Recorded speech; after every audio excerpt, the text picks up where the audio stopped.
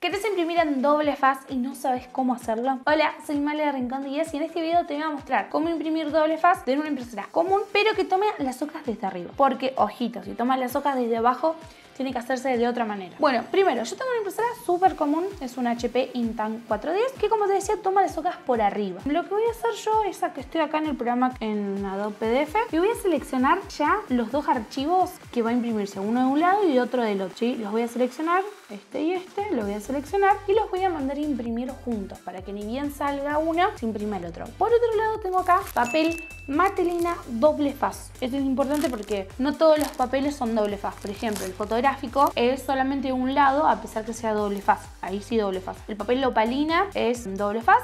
El papel de ilustración, si tenés impresora láser, también es doble faz. Este papel generalmente es simple faz, pero este particular es doble faz.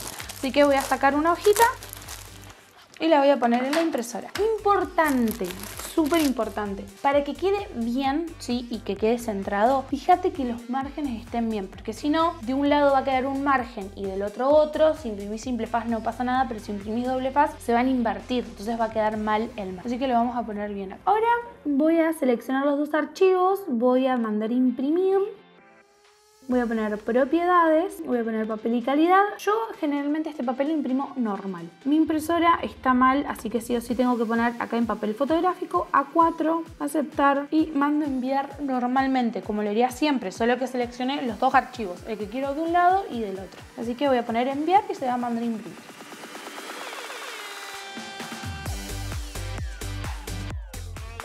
Salió ya está pidiendo para volver a imprimir. Lo que voy a hacer yo es girarla, así como está acá, así salió, así salió. Yo la voy a girar y así como está la voy a poner nuevamente a imprimir. Yo ya lo había mandado a imprimir porque mandamos los dos archivos juntos.